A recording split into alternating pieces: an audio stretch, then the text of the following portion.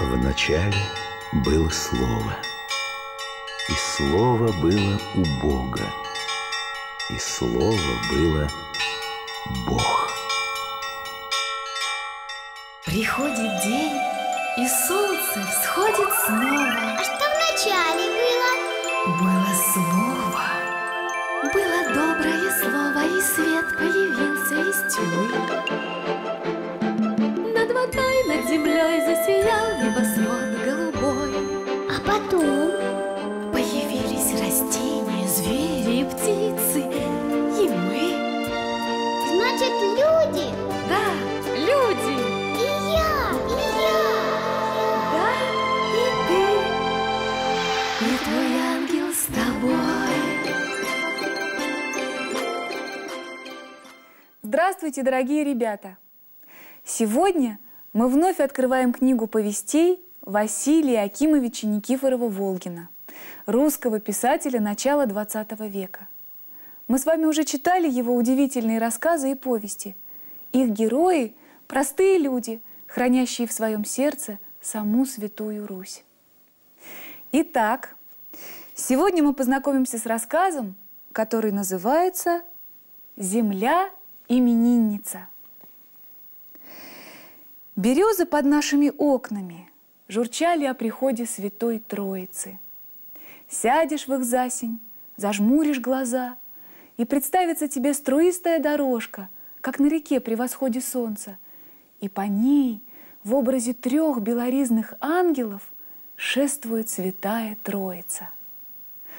Накануне праздника мать сказала, «Завтра земля именинница». «А почему именинница?» А потому, сынок, что завтра Троицын день сойдется со святым Симоном Зелотом. А на Симона Зелота земля именинница, по всей Руси мужики не пашут. Земля именинница. Эти необычайные слова до того были любы, что вся душа моя засветилась. Я выбежал на улицу, повстречал Федьку с Гришкой и спросил их – Угадайте, ребята, кто завтра именинница? Ежели угадаете, то я куплю вам боярского квасу на две копейки. Ребята надулись и стали думать. Отец не раз говорил, что приятели мои, Федька и Гришка, не дети, а благословение Божие, так как почитают родителей, не таскают сахар без спроса, не лазают чужие сады за яблоками и читают по печатному так ловко, словно птицы летают. Мне было радостно, что таким умником я загадал столь мудреную загадку. Они думали-думали и, наконец, признались. Не можем. Скажи. Я выдержал степенное молчание, высморкался и с упоением ответил. Завтра земля именинница – они хотели поднять меня на смех, но потом, сообразив что-то, умолкли и задумались. «А это верно», — сказал серьезный Федька. «Земля в Троицу, завсегда нарядная и веселая, как именинница». Ехидный Гришка добавил. «Хорошая у тебя голова, Васька, да жалко, что дураку досталось». Я не выдержал его ехидства и заревел. Из окна выглянул мой отец и крикнул. «Чего ревешь? Сходил бы лучше с ребятами в лес, за березками!» Душистое и звенящее слово «лес» заставило дрогнуть мое сердце. Взяли мы из дома по ковриге хлеба и пошли по главной улице города с песнями, радостные от предстоящей встречи с лесом. Нас остановил пузатый городовой Гаврилыч и сказал, «Эй, вы, банда, Потише!» В лесу было весело и ярко до изнеможения, до боли в груди, до радужных кругов перед глазами. Но перед тем, как пойти домой, с тонкими звенящими березками, радость моя была затуманена. Выйдя на прилесье, Гришка предложил нам погадать на кукушку. Ну, сколько, мол, лет мы проживем? Кукушка прокуковала Гришке 80 лет. Федьке – 65. А мне всего лишь два года. От горькой обиды я упал на траву и заплакал. Не хочу помирать через два года. Ребята меня жалели и уговаривали не верить кукушке, так как она глупая птица, всегда врет. Возвращались домой при сиянии звезды вечерницы, при вызаренных небесах по тихой росе. Всю дорогу мы молчали, опускали горячие лица в духмяную березовую листву и одним сердцем чувствовали, как хорошо жить, когда завтра земля будет именинница. Приход Святой Троицы на наш двор я почувствовал рано утром в образе солнечного предвосходия, которое заполнило нашу маленькую комнату тонким сиянием. Пахло пирогами. «Ты что в такую рань?» – шепнула мать. «Спал бы еще». Я деловито спросил ее. «С чем пироги?» «С рисом». «А еще с чем?» «С брусничным вареньем». «Маловато», – нахмурился я.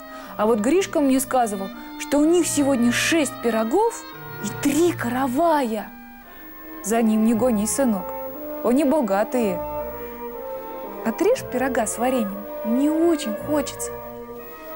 «Да ты, сынок, фармазон, что ли, али турка?» – сплеснула мать руками. «Кто же из православных людей пироги ест до обедни?» «Петр Александрович, он даже в пост свинину лопает». «Он, сынок, не православный, а фершал», — сказала мать про нашего соседа, фельдшера Филиппова. «Ты на него не смотри. Помолись лучше Богу и иди к обедне». Именины земли церковь венчала чудесными словами, песнопениями и длинными таинственными молитвами, во время которых становились на колени, а пол был устлан цветами и свежей травой. После обеда пошли на кладбище поминать усопших сродников. Около белых кладбищенских врат кружилась, верещала, свистела, кричала и пылила ярмарка. Безногий нищий Евдоким, сидя в тележке, высоким рыдающим голосом пел про Матерь Божию, идущую полями, изусеянными и собирающую цветы, дабы украсить живоносный гроб сына своего возлюбленного – Деревянная чашка безногого была полна медными монетами. Я смотрел на них и думал, хорошо быть нищим. Сколько на эти деньги конфет можно купить? Отец дал мне пятачок, и в этом тоже был праздник. Я купил себе на копейку боярского квасу, на копейку леденцов четыре штуки и на три копейки пельсинного мороженого. От него у меня заныли зубы – и я заревел на всю ярмарку. Мать утешала меня и говорила, «Не брался бы, сынок, за городские сладости. От них всегда наказание и грех». Она перекрестила меня, и зубы перестали болеть. Не успели мы дойти до дома, как на землю упал гром. Дождь вначале рассыпался круглыми зернинками, а потом разошелся и пошел гремучим косохлестом. От веселого и большого дождя деревья шумели свежим широким говором и густо пахло березами. Вот такой рассказ, дорогие ребята. Хм. Прочитаешь его и как будто почувствуешь рассеянный в воздухе аромат зеленых березок, дух леса, свежей травы, летнюю прохладу дождя. Я уверена, что мы еще не раз вернемся к прекрасным рассказам Василия Никифорова-Волгина. А сейчас я желаю вам всего самого доброго, дорогие друзья. Храни вас Господь!